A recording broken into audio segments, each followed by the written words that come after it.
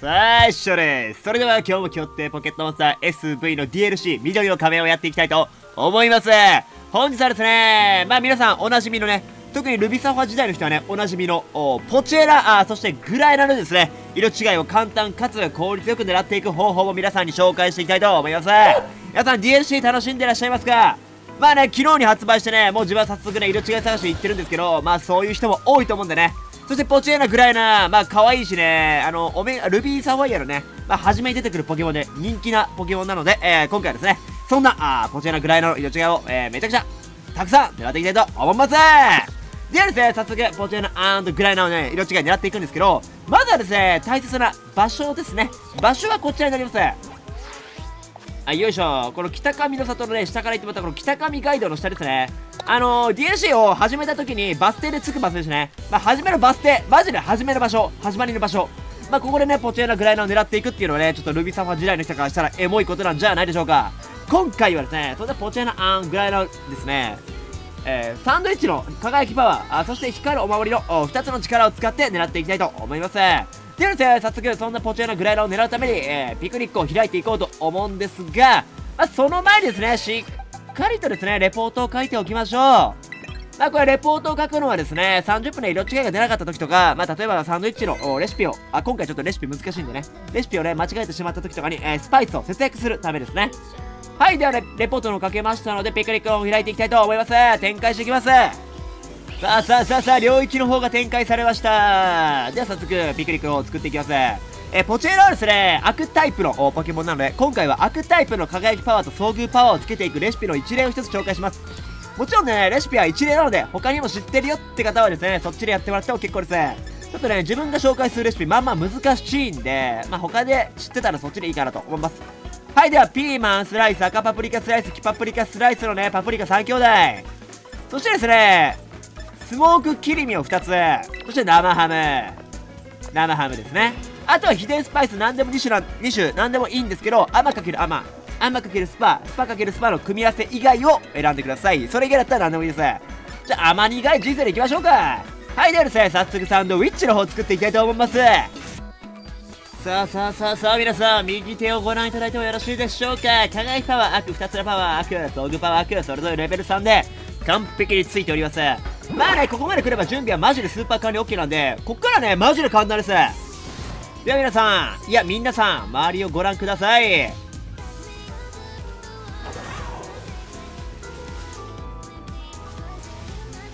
はい、まあこんな感じでね、まあ、ポチエナがですね、ワンサかワンサか溢れています。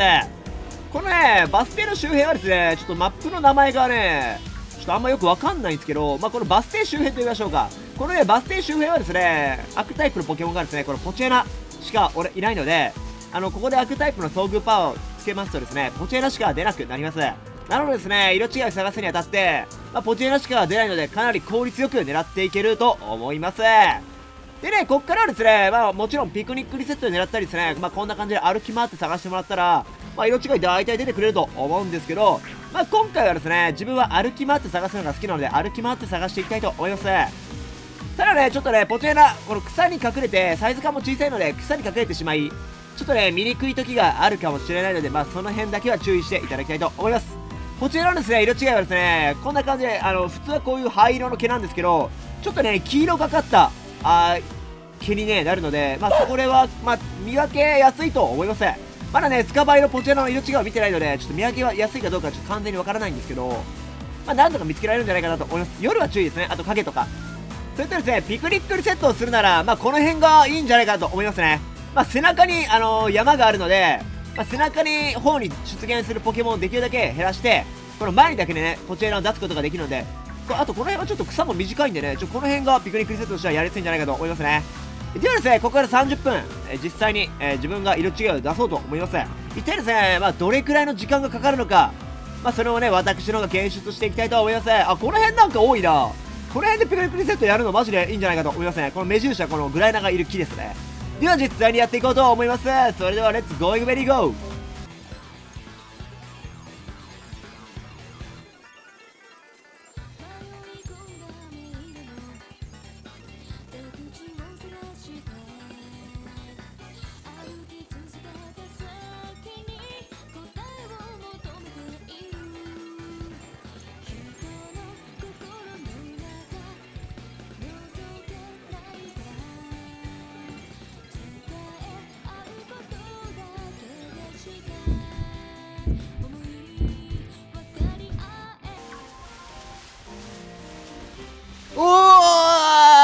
と皆さんいたよかった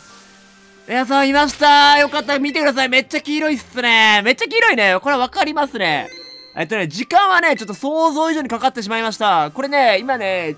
12分経ったんですけど、あの、1回ね、やり直してます。なんで約42分で来ましたね。ちょっとね、沼ってしまいましたけど、よかった。無事来てくれた。可愛いですね。かわいいということでね、早速ね、ポチェーナ1匹出たんで、早速捕まえていきたいと思います。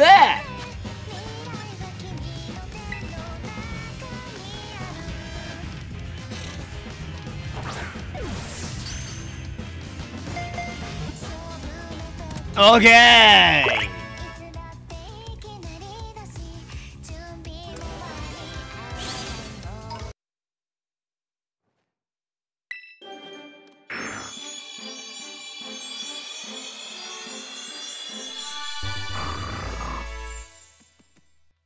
はい、ということでね、今回はですね、グライナ、そしてポチェナの色違い厳選方法について紹介していきました。そしてですね、ちょっと時間はかかってしまったんですけど、無事ですね、40分ほどでグライナ、そしてポチェナの色違いゲットすることができました。まあね、なんでね、まあ今回ちょっとね、沼っちゃったと思うんですけど、まあ効率も結構いい方法なんで、皆さんぜひ試してみてほしいと思います。ポチェナグライナの色違いね、黄色でね、かなりかっこいいんでね、ぜひ皆さんゲットしてみてください。